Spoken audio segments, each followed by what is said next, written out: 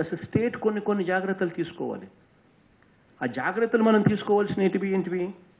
ఎక్కడైనా కూడా public gatherings ఎక్కువగా అవాయిడ్ చేసుకోవడాలు ఎసెన్షియల్ ట్రావెల్ అయితే తప్పనిచ్చి పోకపోవడాలు ఇవన్నీ రాబోయే రోజుల్లో నిరంతర ప్రక్రియ అవుతుంది. సినిమా థియేటర్లు షాపింగ్ మాల్స్ లేకి మనం పోయినప్పుడు కొంచెం కొన్ని కొన్ని వీలైన కాడికి తప్పదు అనుకుంటే తప్పనిచ్చి పోవడము. నెక్స్ట్ వన్ ఇయర్ జరగాల్సిన కార్యక్రమాలు ఇవన్నీ ఏదో పదహైదు రోజులు మాత్రమే చేస్తే సరిపోతుంది అనే పరిస్థితి కాదు. It is going to happen for the next one year so let's all be prepared for it ఏదేదో అంటే ఏదో ఎవరికి వచ్చి హరిపూర్ అనేది కూడా మనం తెలుసుకునే వాస్తవం కూడా కనుక్కో తెలుసు తెలుసుకోవడం కూడా ఎంతో అవసరం మనకు. కోర్స్ స్కూల్స్ కాలేజెస్ ఇవన్నీ కొద్ది రోజుల పాటు ఎలాగో సెలవులు ఇస్తా సెలవులు ఇస్తాం న్యాచురల్గానే ఇస్తాం. బోర్డ్ ఎగ్జామ్స్ మాత్రం ఉంటాయి కాబట్టి ఆ స్కూల్స్ కాలేజెస్లో ఒక వన్ మీటర్ బదులు రెండు మీటర్ల గ్యాప్ ఇచ్చి ఎగ్జామ్స్ కూడా కండక్ట్ చేస్తాం. కొన్ని కొన్ని జాగ్రత్తలు తీసుకునే కార్యక్రమాలు తీసుకుంటూ చేయాల్సిన జీవితం జరగాల్సిన పరిస్థితులు జరగక జరగాల్సిందే. జీవితం అనేది it cannot come to a halt it cannot come to a stop this is the reality of it ప్రతి ఒక్కరికి వన్ జీరో ఫోర్ అనే అనే నెంబరు ప్రతి ఒక్కరికి అందుబాటులోకి తీసుకొచ్చాం.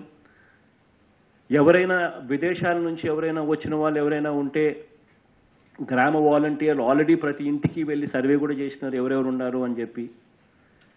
వాళ్ళు ఏమేమి చర్యలు తీసుకోవాలని అడ్వైజులు కూడా చేసినారు. వాళ్ళకు వన్ జీరో ఫోర్ నెంబర్ కూడా వాళ్ళకు కూడా ఇవ్వడం జరిగింది. గ్రామ సెక్రటేరియట్ స్థాయిలోనే పోస్టులు కూడా తగిలిచ్చినారు.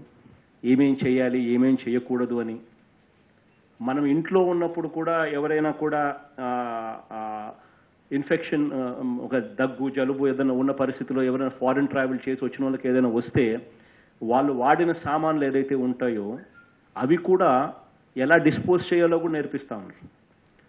అది ఇంట్లో ఎక్కడైనా పడేసినప్పుడు that should not be carrying anything so bleaching powder దాని మీద వేసేస్తే ఒక సిక్స్ అవర్స్ పాటు దాని బ్లీచింగ్ పౌడర్ దాని మీద ఉంటే దట్ వైరస్ విల్ డై ఇటువంటివన్నీ ఇంకా అవేర్నెస్ కార్యక్రమాలు ఏదైతే ఉన్నాయో అన్నీ కూడా జరుగుతూ ఉన్నాయి.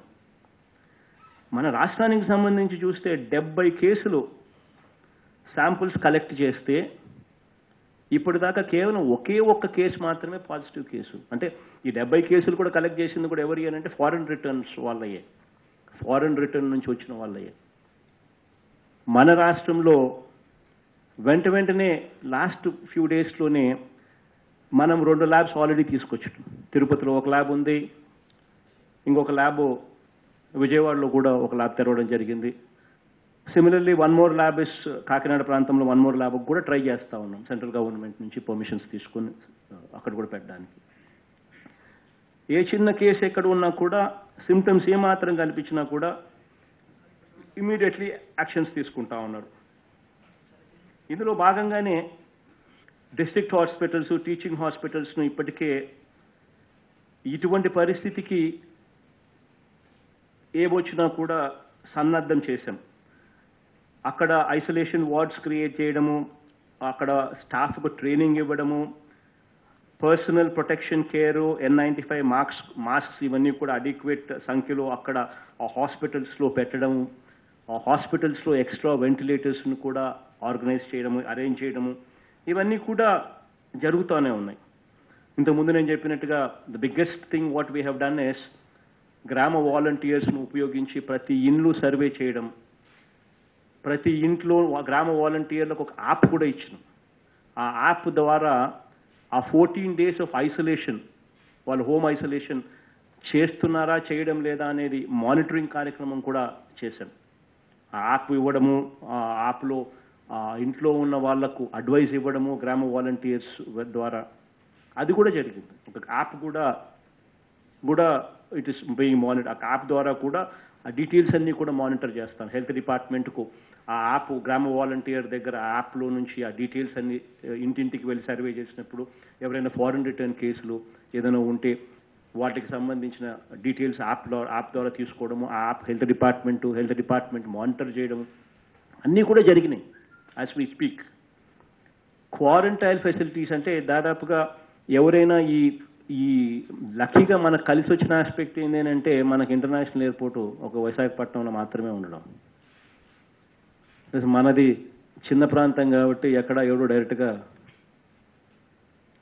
మనకున్న థ్రెట్ కన్నా మిగతా వాళ్ళకి ఇంకా కొంత ఎక్కువ కేసులు ఎక్కువ కనిపిస్తూ ఉంటాయి. కానీ మనం కూడా విశాఖపట్నంలో ఒక టూ హండ్రెడ్ బెడ్ ఒక ఫోర్టీన్ డేస్ ఐసోలేషన్ కోసం రెడీగా బెడ్స్ ఆల్రెడీ బీన్ క్రియేటెడ్ విమ్స్లో ఇంకా ఈస్టర్న్ నేవల్ కమాండ్లో మరో హండ్రెడ్ బెడ్స్ కూడా తయారు చేసి పెట్టాం. విజయవాడలో కూడా ఒక fifty bed super speciality fifty bed ఐసీయూని కూడా తయారు చేసి పెట్టినాం ప్లస్ వైజాగ్ కాకినాడ విజయవాడ గుంటూరు నెల్లూరు కర్నూలులో కూడా ఐసోలేషన్ రూమ్స్ కూడా ఐసోలేషన్ రూమ్స్ అవి కూడా ఐసోలేషన్ రూమ్స్ అంటే అండర్ నెగిటివ్ ప్రెషర్ పనిచేసేట్టుగా అండర్ నెగిటివ్ ప్రెషర్ ఉండేట్టుగా అవి కూడా ఈ ఆరు ప్లేసెస్లో అవి కూడా అందుబాటులోకి వచ్చే కార్యక్రమం చేస్తూ ఉన్నాం. ఇవన్నీ కూడా జరుగుతూ ఉన్నాయి. ఇకపోతే ప్రిపేర్నెస్ అనేది అన్ని రకాలుగా కూడా ఏ ఒక్కరు కూడా దీనివల్ల చనిపోయే పరిస్థితి రాకూడదు అనే అన్న సిద్ధాంతంతోనే ప్రతి కార్యక్రమం కూడా చేస్తూ ఉన్నాం. ఎందుకంటే ఇంతకు ముందు నేను చెప్పిన చనిపోయిన కేసులు ఎంత అని చూస్తే కేవలం హార్డ్లీ ఎ స్మాల్ పర్సంటేజ్ కానీ ఆ స్మాల్ పర్సంటేజ్ కూడా జరగకూడదు అనే ఉద్దేశంతోనే ఇవన్నీ కూడా అడుగులు ముందుకు వేస్తా ఉన్నాం. నెల్లూరులో ఒక్క ఉదాహరణ చెప్తా. నెల్లూరులో ఒక్క పాజిటివ్ కేసు కనిపించిన వెంటనే ఏ రకంగా గవర్నమెంట్ రే దాని మీద స్పందించింది అని అంటే ఒక కిలోమీటర్ రేడియస్ చుట్టూ ఇరవై వేల ఇళ్ళు ఉన్నాయి ఆ ఇరవై వేల ఇళ్ళకు కూడా హౌస్ టు హౌస్ నలభై టీములు పెట్టి హౌస్ టు హౌస్ ప్రతి ఇంటికి వెళ్ళింది. వెళ్ళి వాళ్ళను పూర్తిగా సర్వే చేసి వాళ్ళ ఆరోగ్యం మానిటర్ కూడా చేసింది. వాళ్ళ ఫ్యామిలీ మెంబర్స్ను వాళ్ళ ఇంట్లో పనిచేసే వాళ్ళను కూడా ఐసోలేషన్లో కూడా పెట్టి అబ్జర్వేషన్లో కూడా చేయడం చేయడం కూడా జరుగుతా జరిగింది.